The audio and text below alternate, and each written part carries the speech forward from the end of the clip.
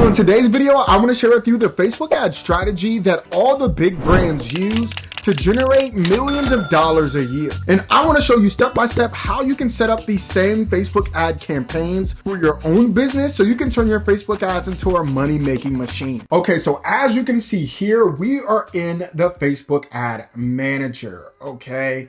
And your ad account may look a little bit different um, especially if you've been running ads before, you'll see all your campaigns. Now, if you haven't ran any ads at all, you will see nothing here, but I wanted to already build out the campaigns that you need so you can see it in its entirety. And as you can see, there's only two campaigns, okay? That's how simple Facebook ads is, especially in 2023. You don't need a whole bunch of campaigns and complicate things. It is not deep at all. I promise you, I've managed millions of dollars just running these two campaigns as crazy as that sounds okay and as you can see here there's one that's a prospecting campaign and one that is a remarketing campaign all prospecting means is that the audience is cold they don't know who you are at all, okay? And a remarketing campaign is a campaign that's going to retarget people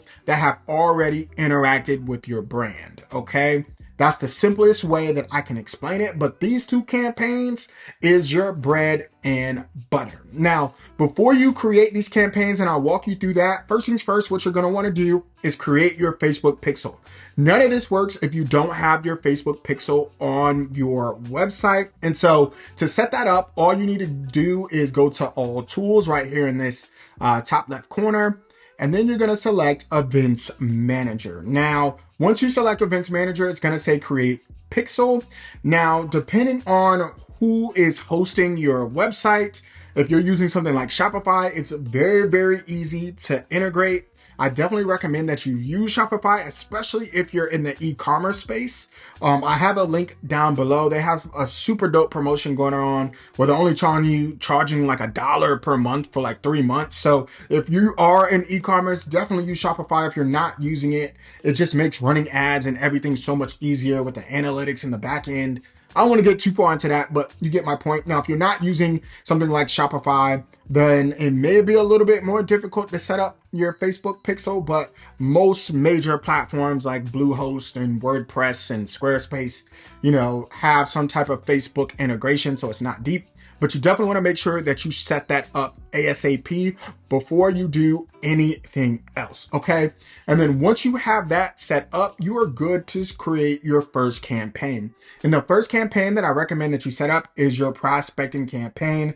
Again, this is a campaign that's going after a cold audience, okay? Well, since I've already created it, I'm just gonna open it up to show you what's in the campaign itself. So as you can see here, there's campaign level, there's ad set level, and the ads level, okay? At the campaign level is where you select your actual objective. Now, since I've already created this, you're not gonna see the other objectives, but none of the other objectives are, are important. You wanna select sales. If you wanna make money with Facebook ads, you need to use sales, okay? Do not select any other objective um, unless you don't wanna make money, all right? And so from there, what you're going to see is advantage campaign budget. Now here, I didn't turn it on. That's my bad. Okay. But you definitely want to turn it on because all advantage campaign budget does is spread your budget across your ad sets, which is where you target people. And it's going to spread your budget to the best performing ad set. Okay. Now that may not make a lot of sense right now, but it will in a few minutes, okay? That's all the campaign level is really good for is selecting that, okay? But moving along, we get to the actual ad set level, which allows you to do targeting, okay? And this is where your Facebook pixel comes in at because this is where you're able to select your conversion event, okay? And again, if you wanna make sales, you're gonna wanna select purchase, all right. And that's pretty much all it is. Now, if you're not in e-commerce, if you're not selling a product, if you're trying to get leads, then you would select leads. Okay. Or you could do like completed registration. That's another one that a lot of, you know, business owners that want leads use. but this is what you're going to select for your purchase event. Okay. And then moving along, you can select your budget here, your start date, your end date. Okay. And then you move on to your audiences. And this is really the most important part of your ad set level. Now, as you can see here, I named this broad targeting because this is an audience that you're to go after. You want to go after a completely broad audience. You don't want to put any interest in here. And surprisingly, a lot of times Facebook will find the perfect audience for you. I have a lot of campaigns to where people put no interest targeting and the campaigns do well because the creative is so good that it does, you know, the targeting for you in essence. So for a broad interest targeting, you don't want anything in here. Don't put anything in detailed targeting. Keep your age range very broad unless you have a product that you know you know, is between the ages of 25 and 55, or, you know, it's skewed to male or female, right? But um, if you don't have any of those gender, you know, specificities, oh, that's a big word. but if you don't have anything, you know, that is super specific to your product, then just leave this all blank. Make sure that you put your location in here. And then that is really it. Okay. I do recommend, um, you know, trying out advantage placements, which is automatic placements before. Um, try that out. Now, make sure once we get to the creative that you have enough creative to fit all the placements. But if you don't know, you know, what placements you can actually choose in platforms, a lot of people don't know that Facebook and Instagram is the same thing when it comes to Facebook ads. You can run on both. I mean, if you don't want to run on Facebook or if you don't want to run on Instagram, then you can turn these off. But I found more times than not, Facebook is going to optimize based on your creative, what's going to give you the most results. So most times I don't touch it unless I know specifically I want to be on a specific platform. Like if I'm, you know, uh, let's just say I have a clothing brand, then, you know, I'll be on Instagram primarily, then Facebook. So if you have nuances to your product to where you know you know, you'll have better results on Instagram or Facebook, then choose that. But overall, most products that I market, I just leave automatic and let Facebook do its thing. And then moving away from broad, you have your lookalike audiences. Okay. Now this is really dope. You can take your customer list and tell Facebook, hey, I want customers similar to the customers that I've already had, right? Which just makes it a lot easier, you know, to convert buyers because Facebook already knows, you know, who's going to buy from you. So they're going to find more people like your your buyers already. That's the simplest way, you know, to explain lookalike audiences, okay? And you do that by going here and selecting create new, and then you can select custom audience and lookalike audience. Okay. Now to create a lookalike audience, you do have to create a custom audience. So some of my favorite custom audiences that I always make are like website visitors, uh, a custom audience from my customer list, etc. But it's very simple to do. All you have to do is click this button, create custom audience, and then it'll show you how to create a lookalike audience. It's very, very easy. Trust me. And then the last you know, audience that you want to create. Interest targeting. This is where you can go here and type in something like sports, right?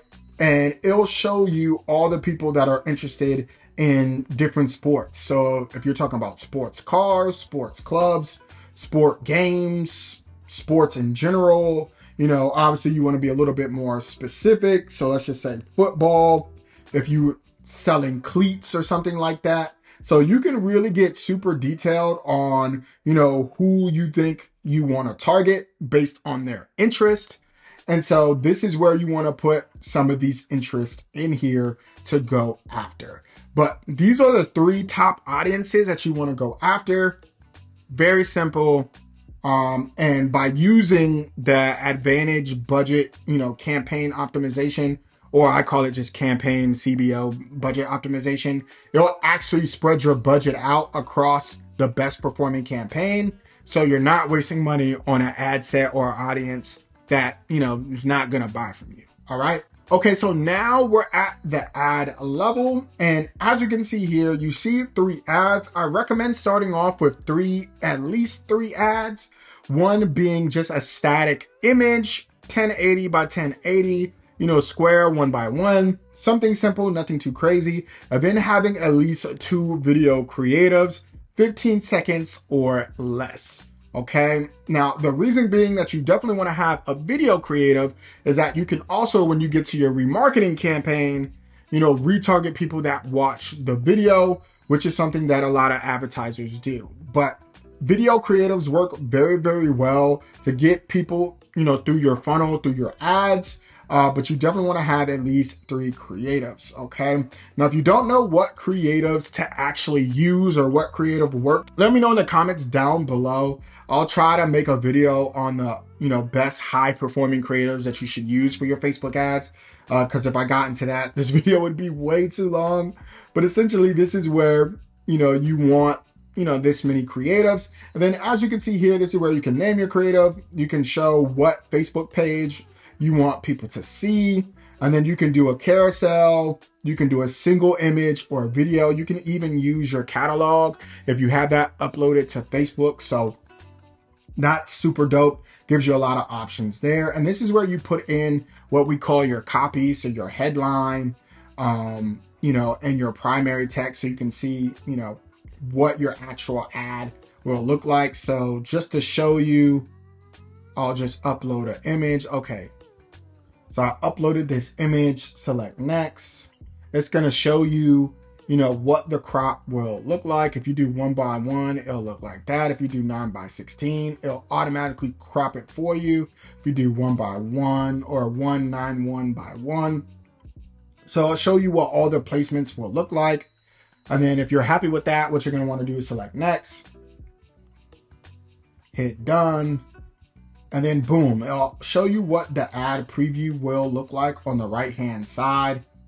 So it'll show you all the previews once you select a page. Then you can put in your text. Okay, so now let's talk about remarketing. And remarketing is one of the easiest campaigns to set up um, because it's very, very simple and you only really need one ad set, okay?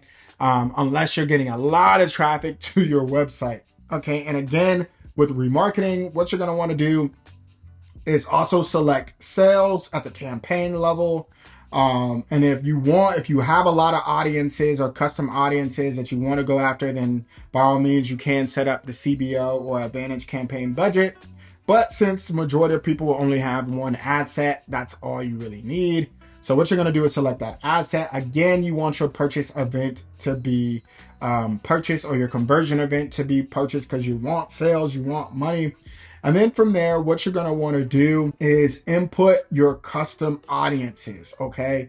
And some of the best custom audiences that you wanna put in here are your website visitors, people that added to cart, um, you know, people that initiated checkout. If you have a product to where people can purchase from you over and over again, like you have a consumable product like lipstick or beard oil, something like that, to where you can remarket to your same customers, put your customer list in here. Like these are all audiences that you can go after. And again, you know, all you have to do is select custom audience and pull all that data from your website once you have your Facebook pixel installed. So that's very, very simple and easy. And then everything else you don't need to touch because you're gonna pull from that custom audience. Um, so you'll be totally fine. And then again, advantage placements, automatic placements, you're good. You can leave that the same. And then also you wanna switch the creatives a little bit I found that for remarketing, that static images just convert better. I'm not sure why that is. Now that may not be true for you, but I recommend again a, at least a three creative um, setup. Two being this time static, one being a video and you want to make sure that these videos have your best offer okay these are people that have already seen your brand but they didn't buy you know you want to let them know that this is a limited time offer you want fomo like all the things that get that final push to buy. And again, if you want that video on the best converting ads, just let me know in the comments down below. But this is the setup, all right?